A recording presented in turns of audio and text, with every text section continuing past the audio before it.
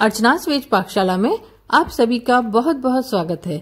आज मैं दोड़की का ठेचा बनाने जा रही हूँ। दोड़की, जिसे कि तुरई के नाम से भी जाना जाता है। तुरई कई प्रकार की होती है तो ये हमने धारी वाली तुरई ली है। इसके छिलकों का ही हमें ठेचा बनाना है। ये महाराष्ट्र में काफ़ी प्रचलित है, और वैसे ये सब जगह बनाया जाता है। तो ये बहुत ही ज़्यादा टेस्टी लगता है और काफ़ी दिनों तक चलता है। कई दिन तक हम इसे खा सकते हैं और इसे हम पूरी पराठे राइस के साथ में भी खा सकते हैं, पकौड़े के साथ में भी ये बहुत ज़्यादा अच्छे लगते हैं। तो चलिए हम इसे बनाना शुरू करते हैं। हमने बड़ी वाली तुरई को अच्छी तरह से धोकर साफ़ कर लिया है। उसी हिसाब से हमें लहसुन और मिर्ची लेनी है। तो हमने कुछ लहसुन और मिर्ची ले ली है और नमक लेंगे स्वाद के अनुसार और मूंगफली के दाने लिए हैं। एक चम्मच जीरा लेंगे। खटाई के लिए खटाई का पाउडर है या फिर नींबू का रस भी हम इसमें डाल सकते हैं। अब हम तुरई को छीलेंगे।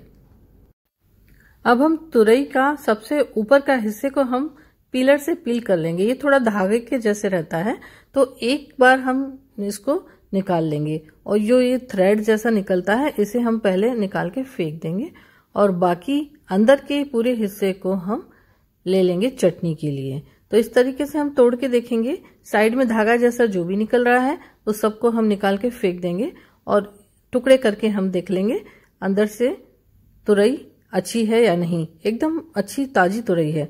तो अब हम सभी तुरई के छिलके को निकाल लेंगे। छिलके हमें तब तक निकालना है जब तक उसका सफ़ेद हिस्सा नज़र ना आए।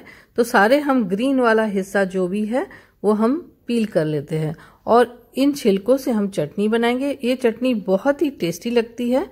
इसे महाराष्ट्र में ठेचा बोलते हैं। हमने सभी छिलके निकाल दिए और ये अंदर का जो हिस्सा है, इसकी हम सब्ज़ी बनाएँगे या इससे और कुछ दूसरी चीज़ भी बनाएँगे। तो इसे हम फेंकेंगे नहीं। अब हम एक पैन में थोड़ा सा तेल डालेंगे और उसमें लहसुन की कलियों को हम भूनेंगे। और इसी में मिर्ची भी तोड़कर डाल देंगे। मिर्ची आप छोटी तीखी वाली होती है, वो भी ले सकते हैं। तो मैंने मैंने थोड़ी मोटी वाली मिर्ची ली है। तो इन्हें हम अच्छी तरह से फ्राई करेंगे जब तक कि कलर इनका चेंज ना हो जाए। कुछ ही देर में ये अच्छी तरह से फ्राई हो जाता है। जब ये अच्छी तरह से इसका कलर चेंज हो जाए, फ्राई हो जाए तो इसको अलग थाली में निकाल लेंगे ताकि ये ठंडा हो जाए। और इसी के अंदर हमें तुरई के छिलकों को मिला देना है और उसी तरह से इसको भी हमें फ्राई कर लेना है। एक बात का ध्यान रखना है कि इसमें हमें बिल्कुल भी पानी नहीं डालना है। कुछ ही देर में ये भी अच्छी तरह से गल जाते हैं। और और जब ये अच्छी तरह से गल जाए तो हम पिछली जो हमने लहसुन और मिर्ची जो फ्राई करके रखे थे, वो इसमें मिला देंगे और फिर कुछ देर तक हम इसको सबको मिलाकर हिलाएँगे। और ये इसमें सिर्फ़ पानी नहीं डालना है। ये बात का हमें ध्यान रखना है। और यदि हम इसमें पानी नहीं डालेंगे तो आराम से ये दो वीक तक खराब नहीं होती है। और अब ये पूरी अच्छी तरह से पक गई, इसे हम निकाल के ठंडा होने के लिए रख देते हैं। अब हम एक सूखे पैन में या किसी भी कढ़ाई में या तवे पर भी मूंगफली को ड्राई रोस्ट करेंगे। इसमें हमें तेल बिल्कुल भी नहीं डालना है, बस इसको सूखा ही हमें रोस्ट करना है। और इसको लगातार चलाना है। मूंगफली चार चम्मच ली हुई है हमने। तो आप चाहे तो हरा धनिया भी इसमें डाल सकते हैं और नारियल भी डाल सकते हैं। लेकिन हरा धनिया और नारियल डालते हैं तो चटनी ज़्यादा दिन तक चलती नहीं है। अब मूंगफली रोस्ट हो गई है। जब मूंगफली अच्छी तरह से रोस्ट हो जाती है तो इस तरह से हाथ से मसल कर उसके छिलके हम निकाल लेंगे। तो इस तरह से हाथ से मसलने से मूंगफली के छिलके बड़ी आसानी से निकल जाते हैं। तो पहले हम सभी मूंगफली के छिलके निकाल लेते हैं।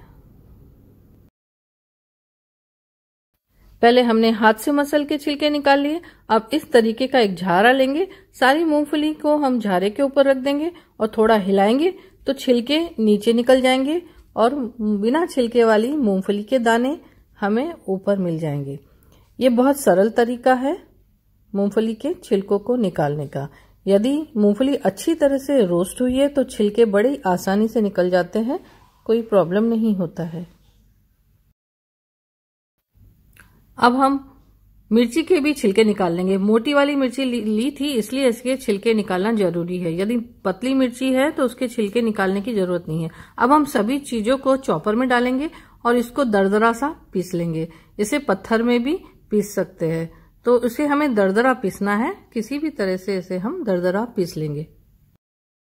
एक बार हमने इसे दरदरा पीस लिया। अब इसमें हम थोड़ा सा अमचूर का पाउडर डालेंगे और जीरा डालेंगे। जीरा के बदले आप रोस्टेड जीरा का पाउडर भी आधा चम्मच इसमें डाल सकते हैं और अमचूर के बदले नींबू का रस डाल सकते हैं, आधा नींबू का रस।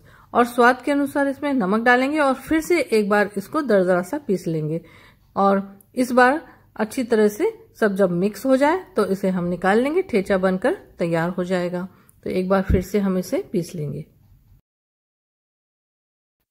ठेचा बिल्कुल रेडी हो गया है। आप चाहे तो इसे इसी तरह से खा सकते हैं, और नहीं तो तेल में फ्राई करके भी इसे हम थोड़ा सा तड़का लगाकर इसे तैयार कर सकते हैं। तो इस तरह से एक पैन में हम तेल लेंगे, तेल जो भी आप खाते हैं, उसमें इसको ठेचे को हम डाल देंगे। कुछ देर तक हम इसको फ्राई करेंगे, और फिर इसे ठंडा होने देंगे। जब ये ठंडा हो जाएगा, तब हम इसको बॉटल में निकाल के रख देंगे। काफ़ी दिन तक ये खा सकते हैं।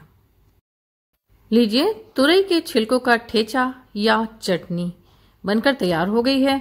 आप इसे पूरी पराठे, पकौड़े आदि किसी के साथ में भी खा सकते हैं। बहुत ज़्यादा स्वादिष्ट लगती है। आप इसे ज़रूर बनाइए। और मेरे चैनल को लाइक कीजिए, शेयर कीजिए, सब्सक्राइब कीजिए। मिलते हैं मेरे अगले वीडियो में। तब तक अपना खूब खूब ख्याल रखिए, स्वस्थ रहिए, मस्त रहिए। Thank you